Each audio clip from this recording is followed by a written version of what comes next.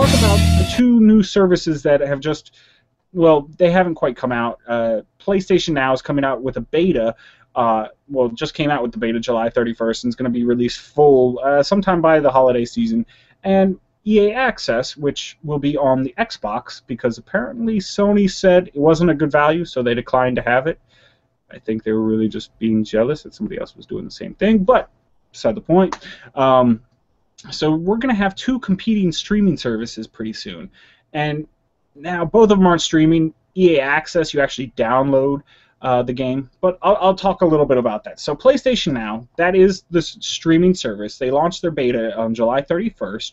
And when the beta came out, it had a, a catalog of about 100 games.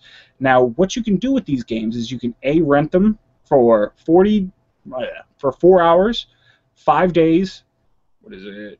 Seven. I'm sorry, four hours, seven days, 30 days, and 90 days. And you can only rent them. They do not say you can buy them. And when you rent them, you have automatic streaming. Think of it like Netflix instant streaming, but with your video games. And um, and not only that, but those four hours, those five days are, I believe, actual playtime, aren't they? Oh, I don't know. I don't know about that. Didn't say that on Why don't you know about these things? Why do you ask questions that nobody knows answers to? Nobody. I could be wrong. I could be wrong too because well, I can't prove that you're days wrong. worth of uh, worth of streaming. Play that's time, a couple that's hours. A lot of playtime. Yeah. So, um, but yeah. So the rentals will start ranging from two ninety nine for a four hour rental, all the way up to fifty dollars for a ninety day rental. Um, now a lot of the times I saw it actually, if you paid a dollar more, you had the five day rental. So why would anybody pay for four hours? It just uh, makes no sense. Uh, a lot of the games were pretty garbage too. I mean, the best games I saw were Saints Row two and three. Uh, you had a bunch of the Re- Resident Evils, some of the Metal Gears. You had a couple Dynasty Warriors. Uh, Dead Rising series was on there, and Darksiders was on there. But out of 100 games, most of them were like Back to the Future or Sam and Max. So not the greatest. Well, catalog. it's it's early. They're just testing the waters right now, so you're not going to have the best catalog. Just like uh, Amazon Prime when they started their um, their video streaming service, it it was a pretty small selection. You know, uh, there was a handful of good ones. Mm, gets okay, so we started.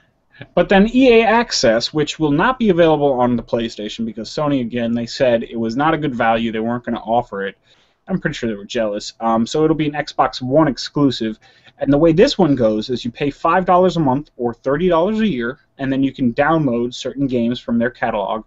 Not any of their new games, mind you, but some of their games, and play them unlimitedly as long as you are still subscribed to the service. Hmm.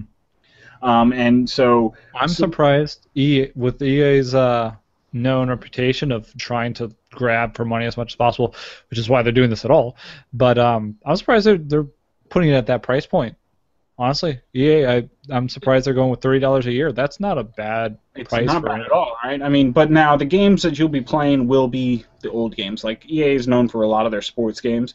The for, the first four games that'll be available will be FIFA 14, so the year behind Madden 25, the year behind Peggle 2. I don't really know about that game. All right, now this is suddenly not a good value because all those games, you know, sports games year out drop to five dollars at best. Mm-hmm. At best. And then Battlefield Four will be the last one, and they're just about to release another Battlefield. So, yeah, I mean they, they say they're going to have a lot more games, and their catalog's going to get a lot. If it's going to be their sports and their their if it's going to be their churn out games that they do yearly, that reduce in value the next year to almost nothing, then now it doesn't now it's meaningless. Yeah. So they can have as big catalogs as they want. It doesn't yeah. matter. Um, and uh, now you do download it, you don't stream it. So that's one thing I kind of like that because you never know with internet connection. What if my internet's a little bit sluggish one day? Then I can't play a game on PlayStation now. So yeah, like and not everyone option. has not not everyone has great you know blazing fast internet still, even in the U.S. or in lots of parts of the world. So. Yeah and and um, so that'll be cool. Now, I mean, neither one of these services really sound worth it to me. Like, if I didn't have one of those systems, which I don't, I'm not like gonna choose which system to buy because of these services. Because uh, the games on PlayStation Now just sucked. I was looking forward to a big catalog of PlayStation One games and everything like that that you could buy and stream for free. You know, I, I don't like the whole rental thing because what if I'm in the middle of a game and my five day rental ends, and then what am I going to do? Spend another double that to get another five days? I don't know if it's worth Hey, it. hey, like you used to do when you used to rent games from the from Blockbuster. Yeah, but that was a different thing because That was different? Actually, no, Why? that's the exact same thing. You're right. Exact We used to do that without a memory card. Like, come on now. Remember Yeah, that with a yeah, PlayStation? We- Yeah, the original PlayStation days, there was a Breath of Fire 3, I think it was. We rented that game like twice. Didn't have a memory card, so every time we turned off the system, we would have to beat it over. But we would sit there and play for like four hours, and then be like, okay, time for bed, turn it off. We did that with uh, we did that with Tekken 3 as well. Oh yes, we did. We got all the characters at one point until the cat stepped on the power. and Um, had to turn it off. yeah. So yeah, so glad we don't have to have those pesky memory card days. But I mean, this is really taking the the console race to a new a new frontier, I'd say, uh, because PlayStation has been outselling Microsoft, and like they just released a recent earnings report where they like doubled their earnings from last year. Um, so they've been doing really strong. But is this service really? I mean, PlayStation now sounds cool, but it just doesn't seem like it's shaping up to be what we want it to. Um, I, I think we're gonna have to wait and see because it's still in beta. They're not gonna release all the big catalog yet. They're just testing the waters. Probably just testing the servers really at this point. Uh, see how much they can handle. Mhm. Um, and they they also need to show interest to get the other publishers to sign on because a lot of the rights don't belong to Sony. Yeah. You know, they belong to other people.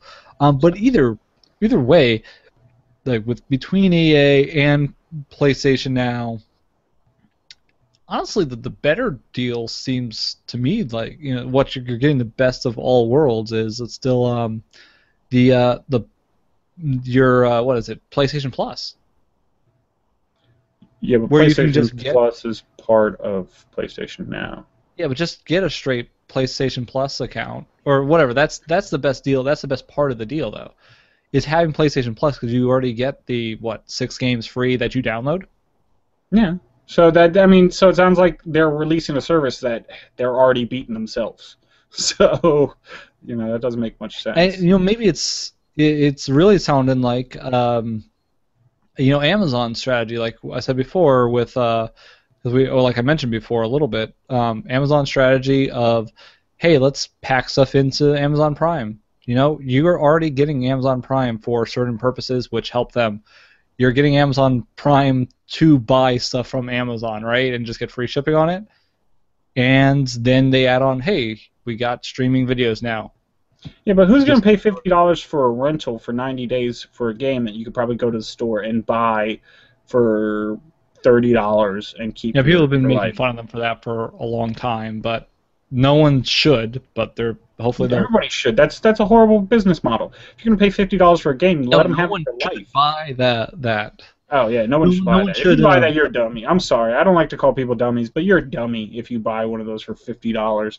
I mean, I could see the four-hour rental because that's like an extended demo being val- val- viable, but other than that, I really don't see it. And then the EA Access offers you no games, so yeah, I think you're right. I'm going to agree with you on that point. It's a wait and see. Both cool ideas, but not quite developed yet. yeah. But you know what? Let us know what you guys think. Uh, of course, hit us up in comments down below at What's My Face on Twitter, What's My Face at gmail.com. Uh, we're on the Google Plus and the Facebook thingamajiggers, so uh, you can hit us up there. And